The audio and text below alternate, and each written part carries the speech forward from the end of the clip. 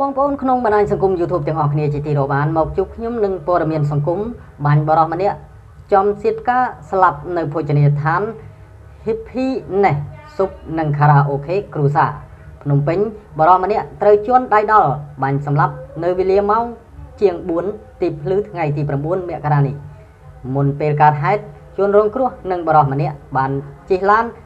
ទៅជាមួយគ្នាលុះពេលដើរចូលហាងនិង អង្គុយលើតុស្រាប់តែមានក្រុមជនឃាតករ2នាក់ទៀតជិះម៉ូតូមួយគ្រឿងចូលទៅបាញ់ចំសៀតផ្កាស្លាប់តែម្ដង បន្ទាប់ពីធ្វើសកម្មភាពរួចហើយក្រុមជនដៃដល់បាញ់បោះកំភ្លើងចោលនៅក្នុងហាងកន្លែងកើតហេតុនោះហើយនាំគ្នាជិះម៉ូតូគេចចេញរួចរួមជាមួយនឹងបរិសម្នាក់ទៀតដែលមកជាមួយជនរងគ្រោះទីតាំងកើតហេតុស្ថិតនៅភោជនីយដ្ឋាន Happiness ស៊ុបនិងខារ៉ាអូខេគ្រួសារក្នុងសង្កាត់បាំងរៀងខណ្ឌដូនពេញជនរងគ្រោះឈ្មោះ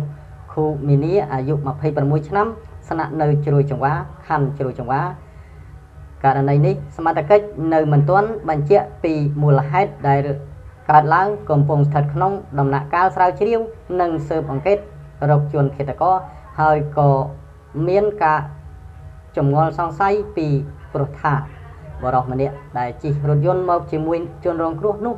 បានឡើងជិះម៉ូតូទៅជាមួយក្រុមជនដៃដល់បន្ទាប់ពីធ្វើសកម្មភាពហើយ ដែលមហាជនដាក់ការសង្ស័យថាករណីបាញ់សម្លាប់នេះ គឺមិត្តភ័ក្តិសម្លាប់មិត្តភ័ក្តិសូមអរគុណបងប្អូនទាំងអស់គ្នា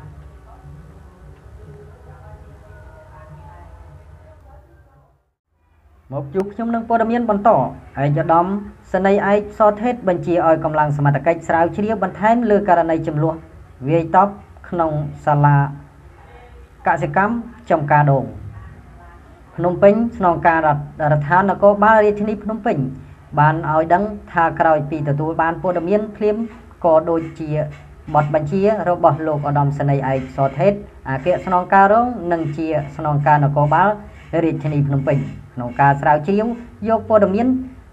ឲ្យបានច្បាស់លាស់តាក់ទងទៅនឹងសិស្សសាលា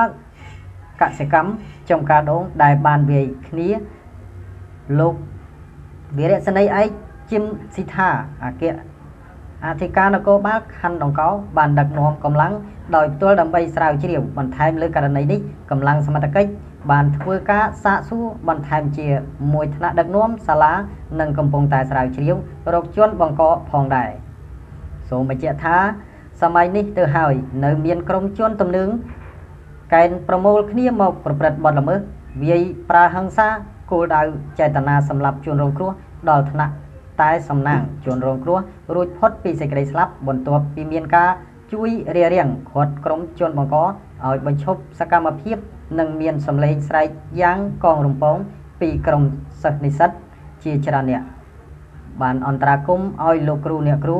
ជួយនិងស្រែកឲ្យក្រុមជនបង្កបង្អាក់សកម្មភាពទើបជនរងគ្រោះបានត្រឹមរងរបួសកណ្ដាប់ដៃពីជនបង្កជាដៃដល់ជនដៃដល់ឈ្មោះនួចច័ន្ទរិទ្ធនិងឈ្មោះនៃសៅសវណ្ណដោយដាល់ចំគុំត្រជាចំក្តោងច្រមុះបែកឈាមងងឹតមុខត្រូវមិត្តរួមសាលាដឹកទៅកាន់មន្ទីរពេទ្យជួយសង្គ្រោះអំពើដ៏ខុសខើជន់ដៃដល់ប្រព្រឹត្តដោយក្រុមនេះ បានកើតឡើងកាលពីវេលាម៉ោង9:45នាទីព្រឹកថ្ងៃទី10ខែមករាឆ្នាំ2020នៅក្នុងបន្ទប់រៀននៃសាកលវិទ្យាល័យភូមិន្ទកសិកម្មចំការដងជួនបង្កមានឈ្មោះនៃសៅសវណ្ណជាកូនបង្កើតរបស់លោកនៃលន់រដ្ឋលេខាធិការក្រសួងកសិកម្មរុក្ខាប្រមាញ់និងនេសាទនិងឈ្មោះទួចច័ន្ទរិទ្ធត្រូវជាក្មួយ និងជាបងប្អូនជីដូនមួយនៃសៅសវណ្ណជាមួយនឹងក្រុម គូកនចំនួន3នាក់ទៀតរីឯជួនរងគ្រោះឈ្មោះក្រាមស៊ីងភេទប្រុសអាយុ23ឆ្នាំជាសិស្សនិស្សិតឆ្នាំទី4រៀនផ្នែកវិទ្យាសាស្ត្រសត្វនៃសាកលវិទ្យាល័យភូមិន្ទកសិកម្មចំការដងជួនរងគ្រោះឈ្មោះក្រាមស៊ីងបានឲ្យដឹងថានៅល្ងាចថ្ងៃទី10ខែមករាឆ្នាំ2020ថាមុនពេលកើតហេតុខ្លួនកំពុងនៅក្នុងថ្នាក់បន្ទប់ 4VMB រៀនមុខវិជ្ជាវិទ្យាសាស្ត្របក្សីដែលមានលោកគ្រូឈ្មោះថឹមសុខាជាអ្នកបង្រៀនលុះដល់ម៉ោង9:45នាទីព្រឹកថ្ងៃទី10ខែមករាឆ្នាំ2020ស្រាប់តែឈ្មោះនួយច័ន្ទរិទ្ធត្រូវជាបងឈ្មោះនៃសៅសវណ្ណនាំគ្នាចំនួន3នាក់ទៀតសម្រុកចូលក្នុងបន្ទប់ថ្នាក់រៀនខាងលើមកស្រែកសម្លុតនិងធ្វើសកម្មភាពក្នុងចេតនាសម្លាប់ប៉ុន្តែបានលោកគ្រូ អ្នកគ្រូជួយរារាំងនិងនិស្សិតរួមថ្នាក់ស្រែកខ្លាំងខ្លាំងជួនបង្កឈ្មោះនួចចន្ទរិទ្ធនៃសៅសុវណ្ណនិងបពួក3នាក់ទៀតបញ្ឈប់សកម្មភាព ហើយខ្លួនរងនៅកណ្ដាប់ដៃជួនបង្កដាល់ត្រូវចំគុំត្រចៀកនិងក្តោងច្រមុះបែកហូឈាម បានមិត្តភ័ក្តិរួមថ្នាក់ដឹកទៅកាន់មន្ទីរពេទ្យដោយឡែកក្រុមជួនបង្កត្រូវខាងគណៈគ្រប់គ្រងសាលាហៅមកសាកសួរបានមួយដង្ហើមចង្រិត នៅការិយាល័យសិក្សាក៏ឲ្យក្រុមជនបង្កត្រឡប់ទៅផ្ទះវិញដោយមិនបានប្រគល់ជនបង្កឬហៅសមត្ថកិច្ចជាមន្ត្រីនគរបាលយុតិធធនៅចិត្តនោះខាត់ខ្លួនក្រុមជនបង្កយកទៅសាកសួរតាមនីតិវិធីនោះឡើយករណីនេះគេសង្ស័យថាលោកគ្រូគណៈកម្មការគ្រប់គ្រងសាលាមិនផ្ដល់ក្រុមជួនបង្កឲ្យសមត្ថកិច្ចចាត់ការបន្តនៃការប្រព្រឹត្តបទល្មើសជាក់ស្ដែងនេះ ដោយហេតុផល ជួនដៃដល់ជាកូន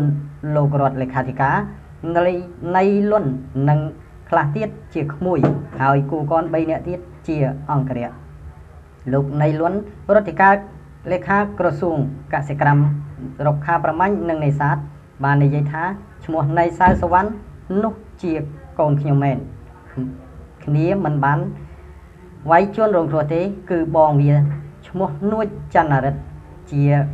បងអ្នកបង្កហេតុដោយសារវាខឹងជំនួសប្អូនក៏កើតទៅជារឿងហេតុលោករដ្ឋលេខាធិការបានបន្តថា ធ្វើបែបនេះមិនត្រូវទេទោះជាជនរងគ្រោះឆាតសំលេងគម្រាមកំហែងក៏គេមិនទាន់បានប្រព្រឹត្តហើយក៏គ្មានការសងសឹកវាយគេនោះដែរខ្ញុំពិតជាសោកស្ដាយអ្វីដែលក្មេងៗគាត់គិតខ្លី បង្កជាចំនួនប៉ះពាល់ធ្ងន់ធ្ងរដល់គ្រួសារនិងសង្គមដូច្នេះហើយខ្ញុំមិនទទួលយក បានទេនៅអង្គើខុសច្បាប់ លោកនៃលីរដ្ឋរដ្ឋលេខាធិការក្រសួងកសិកម្មរុក្ខាប្រមាញ់និងនេសាទបានបញ្ជាក់ថារឿងនេះទុកឲ្យខាងសាលាគេធ្វើការចុះហើយខ្ញុំក៏ចង់ឲ្យការសម្របសម្រួលគ្នាដ៏ល្អមិននឹងគ្នាដើម្បីបញ្ចប់រឿង ជនរងគ្រោះឈ្មោះ ក្រាម ស៊ីង បានបញ្ជាក់ថា ក្រោយកើតហេតុ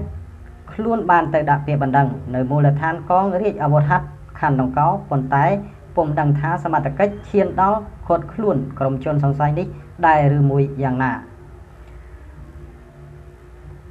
សូមអរគុណបងប្អូនទាំងអស់គ្នា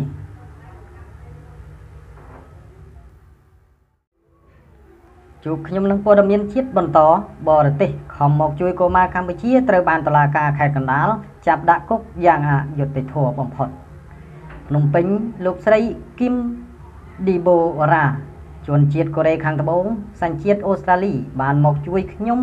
ឲ្យជួយរកយុត្តិធម៌ជូនប្តីរបស់លោកស្រីឈ្មោះ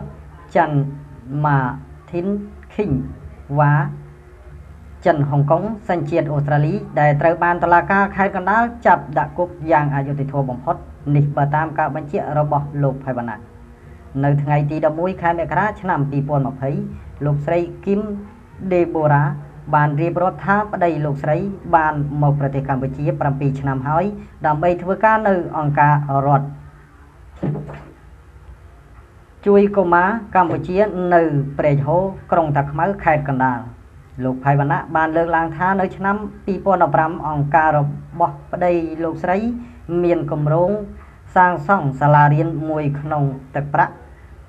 2.900ពាន់ដុល្លារដោយបានធ្វើកិច្ចសន្យាសាងសង់ជាមួយក្រុមហ៊ុនសំណង់ឈ្មោះ PHV ដែលមានលោកដនខំផែងនិងលោកស្រីជឹមវណ្ណៈ ជាតំណាង បន្ទាប់ពីចុះកិច្ចសន្យារួចហើយនៅថ្ងៃទី24ខែកុម្ភៈឆ្នាំ2015ក្រុមហ៊ុន GAV បានចាប់ផ្ដើមដំណើរការសាងសង់និងបានបើកប្រាក់ជាបន្តបន្ទាប់ពីអង្គការដែលលោកច័ន្ទម៉ាទីគ្រប់គ្រងសរុបចំនួន112,514ដុល្លារលុះដល់ថ្ងៃខខែកុម្ភៈឆ្នាំ2016ខាងអង្គការខ្វះមូលនិធិ សម្រាប់បន្តការសាងសង់ក៏បានធ្វើលិខិតមួយជូនទៅក្រុមហ៊ុនសំណង់ PAV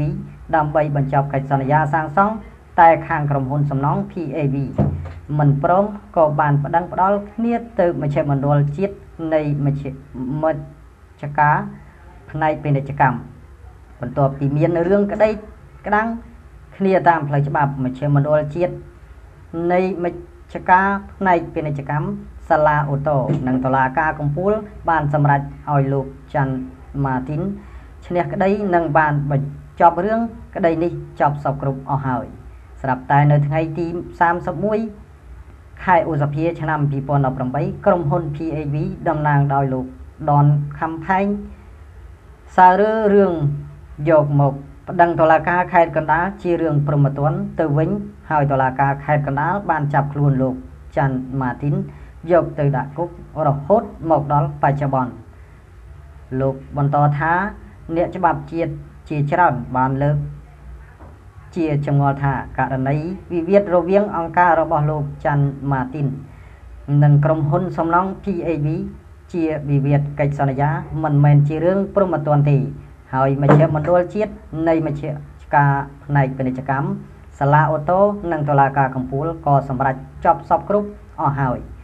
ការលើកឡើងយករឿងដដែលនេះមកប្តឹងរឿងប្រមទ័នមិនត្រឹមត្រូវទេ ដោយមើលឃើញអំពីអង្គើយុទ្ធអយុត្តិធម៌ដែលតុលាការខេត្តកណ្ដាលបានធ្វើមកលើប្តីរបស់លោកស្រីគឹមដេបូរ៉ាបានសំណូមពរឲ្យថ្នាក់ដឹកនាំក្រសួងយុតិធធមេតាពិនិត្យមើលករណីនេះផងជនបរទេស ខំមកជួយកុមារកម្ពុជាទីបំផុតតុលាការខេត្តកណ្ដាលចាប់ដាក់គុកយ៉ាងអយុត្តិធម៌បំផុតសូមអរគុណបងប្អូនទាំងអស់គ្នារាល់ការតាមដានទស្សនាវីដេអូរបស់ខ្ញុំបាទសូមកុំភ្លេចជួយចុច Subscribe និង Channel របស់ខ្ញុំបាទម្នាក់មួយផងដើម្បីទទួលបានវីដេអូនិងព័ត៌មានថ្មីៗជាច្រើនទៀតសូមអរគុណសូមជម្រាបលា